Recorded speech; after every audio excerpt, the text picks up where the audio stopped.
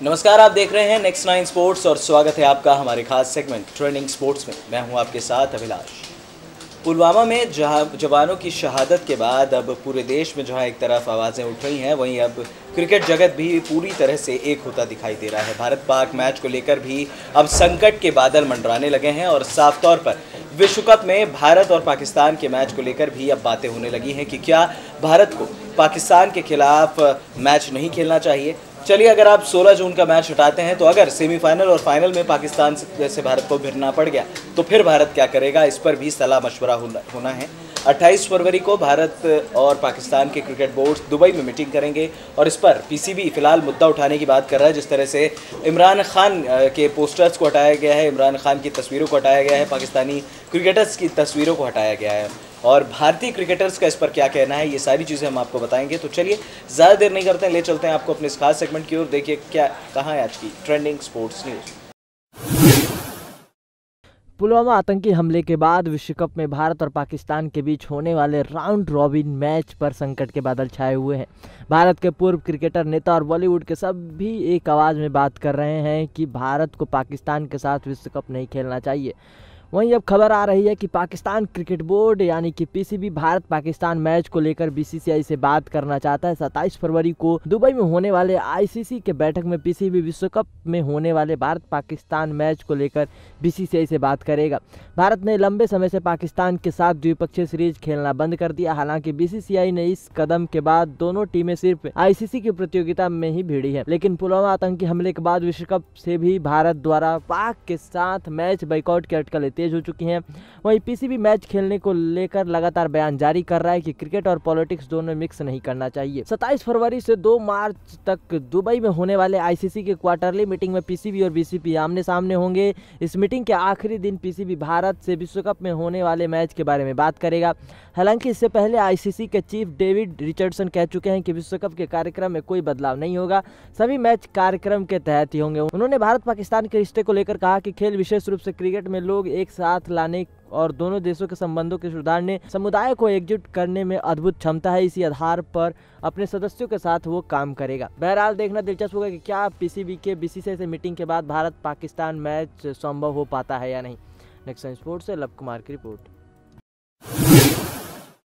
पुलवामा में 40 सीआरपीएफ जवानों की शहादत के बाद इन दिनों पूरे देश में आक्रोश का माहौल है। हर कोई बस अब बदले की मांग कर रहा है और क्रिकेट जगत भी अब इस मामले में एकजुट होकर सामने आ रहा है।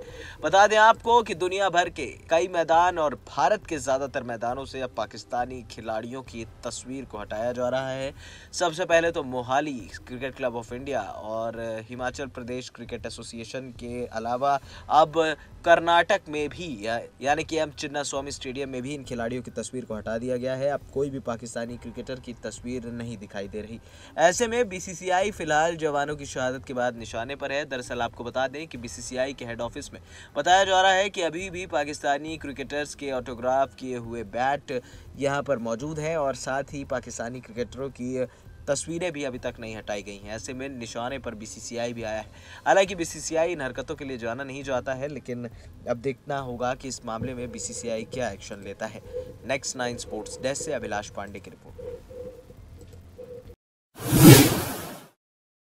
चौदह फरवरी को पुलवामा में हुए हमले के बाद देश का गुस्सा थमने का नाम नहीं ले रहा। हर क्षेत्र से पाकिस्तान के खिलाफ आवाज़ उठ रही है। खेल के मैदान से भी पाकिस्तान विरोधी आवाज़ें तेज़ हो गई हैं। कर्नाटक राज्य क्रिकेट संघ ने देश के कई अन्य राज्य संघों और क्रिकेट निकायों के नक्शे कदम पर चलकर अपने एम चिमन्ना स्वामी स्टेडियम की गैलरी से पाकिस्तान के खिलाड़ियों की तस्वीरें उतारने का फैसला किया है। कर्नाटक राज्य क्रिकेट संघ ने कहा, हम कर्नाटक राज्य क्रिकेट संघ में अपने सशस्त्र बलों को अपना समर्थन दिखाने के लिए और पुलवामा में हाल ही में हुए हमले के खिलाफ अपना मज़बूत विरोध व्यक्त करने के लिए इमरान खान सहित पाकिस्तानी क्रिकेटरों की सभी तस्वीरों को हटा रहे हैं। इससे पहले हिमाचल प्रदेश क्रिकेट एसोसिएशन ने धर्मशाला स्टेडियम से पाकिस्तानी क्रिकेटरों की तस्वीरें हटाई। सबसे पहले क्रिकेट क्लब ऑफ़ इंडिया ने इमरान खान की तस्वीर हटाई। फिर एच पी सी और सवाई मानसिंह स्टेडियम सहित कई अन्य ने ऐसा करने का फैसला किया। के के सचिव सुधाकर राव ने खुलासा किया कि उनके स्टेडियम की दीवार पर इमरान खान, वसीम अक्रम और इंजमाम हक की तस्वीरें थी, जिन्हें दो दिन पहले हटा दिया गया। देश पहले आता है हम दो दिन पहले तस्वीरें हटा चुके हैं। इस संवेदनशील स्थिति में देश के समर्थन में हम हैं और के ही नहीं, बल्कि देश भर में कई अन्य संघ भी ऐसा ही कर रहे हैं। नेक्स्ट नाइन स्पोर्ट्स डेस्क से अभिलाष पांडे की रिपोर्ट। पुलवामा में 40 जवानों की शहादत के बाद पूरे देश के अंदर गुस्से का माहौल है। पूरा देश अब पड़ोसी मुल्क से सिर्फ़ और सिर्फ़ बदला चाहता है। साफ़ तौर पर 40 सीआरपीएफ जवानों की शहादत व्यर्थ न जाए, इस बात की हर कोई गुहार लगा रहा है। बता दें आपको कि इस बात को लेकर क्रिकेट जगत में भी जमकर कोहराम मचा हुआ है। 16 जून को भारत और पाकिस्तान का विश्व कप में मैच होना है। ऐसे में हर कोई ये कह रहा है कि भारत पाकिस्तान के खिलाफ विश्व कप में कोई मैच न खेले ऐसे में हर जगह से आवाज़ें उठ रही हैं। बीसीसीआई ये पहले ही साफ़ कर चुका है कि हमें जिस तरह से भारत सरकार कहेगी, हम उस तरह का डिसीज़न लेंगे। अगर भारत सरकार हमें मना करती है तो हम मैच नहीं खेलेंगे। ऐसे में आईसीसी के चेयरमैन डेविड रिचर्डसन ने भी बड़ा बयान दिया है। इस मामले में आईसीसी को भी पता है कि कितना संगीत मामला है। डेविड रिचर्डसन ने कहा कि हमले में जितने भी जवान शहीद हुए हैं आईसीसी उनके साथ सांत्वना व्यक्त करता है। उन्होंने कहा कि भारत और पाकिस्तान के बीच जो भी मैच होगा या नहीं होगा, वो सरकार के हाथ में है, लेकिन फ़िलहाल इस तरह की कोई अपडेट नहीं आई है कि पाकिस्तान के खिलाफ भारत का कोई मैच नहीं होगा। डेविड रिचर्डसन ने साफ़ तौर पर कहा कि कारगिल के दौरान भी भारत और पाकिस्तान के बीच मैच हुआ था तो इस दौरान क्यों नहीं? लेकिन आईसीसी का ये बयान फ़िलहाल मौजूदा स्थिति को देखते हुए नहीं आया है। आईसीसी भी चाहता होगा कि इस बार स्टैंड बीसीसीआई का क्लियर हो। नेक्स्ट नाइन स्पोर्ट्स डेस्क से अभिलाष पांडे की रिपोर्ट। पाकिस्तान क्रिकेट बोर्ड ने भारत में क्रिकेट क्लब ऑफ़ इंडिया द्वारा पाकिस्तान के पूर्व कप्तान और मौजूदा प्रधानमंत्री इमरान खान के पोस्टर हटाए जाने पर निराशा ज़ाहिर की है। चौदह फरवरी को जैश मोहम्मद द्वारा जम्मू कश्मीर के पुलवामा में हुए हमले में सीआरपीएफ के 44 जवानों के शहीद होने के बाद सीसीआई ने शनिवार को इमरान का फ़ोटो ढकने का फैसला किया तो एक दिन बाद पंजाब क्रिकेट संघ ने मोहाली में इमरान खान समेत अन्य पाकिस्तानी क्रिकेट खिलाड़ियों के पोस्टर हटा दिए, जबकि सोमवार को जयपुर के सवाई मान क्रिकेट स्टेडियम में से भी पाकिस्तानी क्रिकेटर्स की तस्वीरों को हटाने का फैसला किया गया। इसके अलावा आईएमजी रिलायंस ने पाकिस्तान सुपर लीग यानी कि पीएसएल 2019 के प्रोडक्शन और प्रसारण का करार भी रद्द कर दिया, जबकि इससे पहले डी स्पोर्ट्स ने पीएसएल से अपने हाथ खींच लिए थे। इन तमाम घटनाओं के बाद पीसीबी के निदेशक वसीम खान ने एक बयान में कहा है कि क्रिकेट ने हमेशा लोगों और देशों को एक साथ लाने का काम किया है।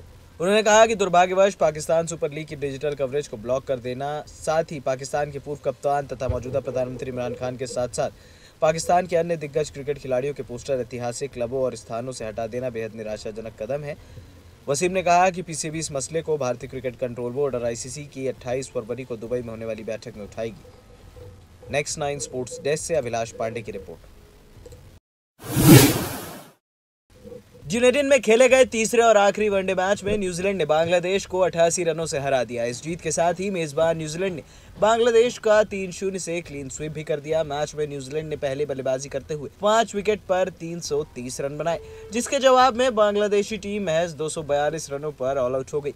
की तेज गेंदबाज टिम साउदी ने पैंसठ रन देकर छह विकेट झटके, वहीं उनके तीन बल्लेबाज रॉस टेलर, हेनरी निकल्स और टॉम लेथम ने अर्धशतक ठोके। बांग्लादेश की ओर से शबीर रहमान ने शतक ठोका। उन्होंने 102 रनों की पारी खेली। ये शबीर के करियर का पहला वनडे शतक है। शतक लगाने के बाद शबीर ने विराट के अंदाज में जश्न मनाया। उन्होंने अपने बल्ले की ओर इशारा कर ये जताया कि उनका बल्ला हर विरोधी को जवाब देता है। विराट भी कई मैचों में इसी तरह का सेलिब्रेशन कर चुके हैं। हालाँकि शबीर रहमान की ये पारी बेकार गई और उनकी टीम मैच हार गई, जिसके बाद शबीर रहमान को शर्म आई।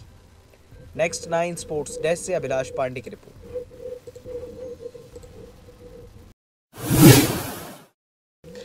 पुलवामा आतंकी हमले के बाद भारत में हर जगह पाकिस्तान का विरोध किया जा रहा है। इस विरोध से क्रिकेट जगत भी अछूता नहीं रहा है। भारत के क्रिकेट क्लब ऑफ़ इंडिया यानी कि सीसीआई के बाद Himachal Pradesh cricket association, HPCA और पंजाब क्रिकेट संघ, पीसीए जैसे राज्य क्रिकेट संघों ने अपने स्टेडियम, गैलरी और मुख्यालय से सभी पाकिस्तानी क्रिकेटरों की तस्वीरें हटा दी हैं। लेकिन भारतीय क्रिकेट कंट्रोल बोर्ड यानी कि बीसीसीआई ने अभी तक अपने मुंबई मुख्यालय से किसी भी पाकिस्तानी खिलाड़ी की तस्वीर को नहीं हटाया है। मुंबई मुख्यालय में अभी भी पाकिस्तानी खिलाड़ियों द्वारा हस्ताक्षर किए गए बैट और तस्वीरें टंगी हुई हैं। ऐसे में सवाल यह है कि आखिर बीसीसीआई कब इस पर कदम उठाएगा और बाकी एसोसिएशन की तरह पाकिस्तानी क्रिकेटरों से जुड़ी चीज़ों को अपने मुख्यालय से हटाएगा। देश के लोग पुलवामा आतंकी हमले से आहत हैं और हर किसी से ये मांग है कि विश्व कप भारत, पाकिस्तान के मैच का बाइकआउट करे और हर क्षेत्र से उन्हें संबंध खत्म किया जाए। बहरहाल देखना दिलचस्प होगा कि क्या भारत जो 16 जून को भारत और पाकिस्तान का वर्ल्ड कप में मुकाबला होने वाला है, उसका भारतीय टीम बाइकआउट करती है या नहीं करती है, और बीसीसीआई कब अपने मुख्यालय से पाकिस्तानी क्रिकेटर से जुड़ी चीज़ें को हटाता है। स्पोर्ट्स से कुमार की रिपोर्ट। चौदह फरवरी को पुलवामा आतंकी हमले के बाद देश का गुस्सा थमने का नाम नहीं ले रहा। हर क्षेत्र से पाकिस्तान के खिलाफ आवाज़ें उठ रही हैं। खेल के मैदान से भी पाकिस्तान विरोधी आवाज़ें तेज हो गई हैं। कर्नाटक राज्य क्रिकेट संघ ने देश के कई अन्य राज्य संघों और क्रिकेट निकायों के नक्शे कदम पर चलकर अपने एम चिन्ना स्वामी स्टेडियम की गैलरी से पाकिस्तानी खिलाड़ियों की तस्वीरें उतारने का फैसला किया है।